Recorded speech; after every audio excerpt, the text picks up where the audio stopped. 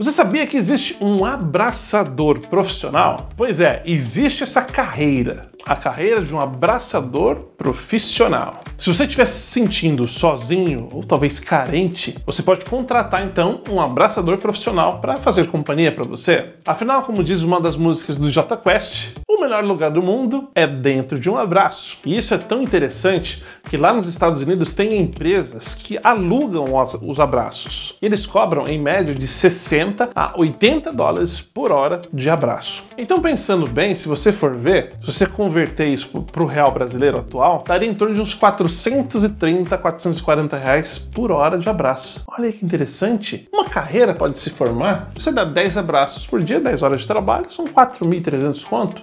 Hum, interessante, hein? Se você trabalhar então de segunda a sexta dando 10 abraços por dia, nós estamos falando de quase 100 mil reais por mês. Onde é que eu mando meu currículo?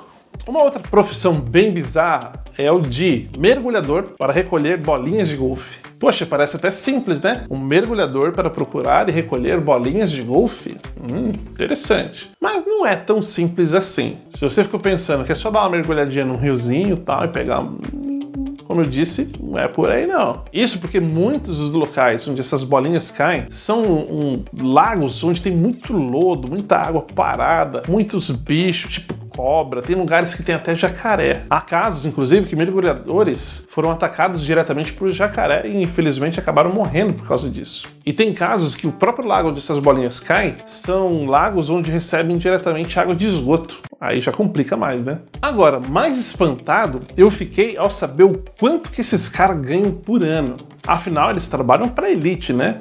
Quem joga golfe geralmente é gente que tem grana. Eu não tenho perfil nem para ter um carro chamado golfe. Imagina para jogar um esporte com esse nome. Mas esses profissionais relatam que é possível faturar por ano até 475 mil reais. 475 mil reais recolhendo bolinhas de golfe em, em lagos. Não é fácil comprar bolinha nova, né? 475 mil, né? talvez seja uma bolinha querida, né? Eu acho que é mais barato comprar uma bolinha nova. Enfim, daria um equivalente a mais ou menos uns, em torno de uns 40 mil reais por mês. É muita grana, hein? Toparia? Manda currículo para lá, para esses lugares aí que tem campo de golfe. Acho que aqui no Brasil não paga isso, mas lá nos States deve pagar.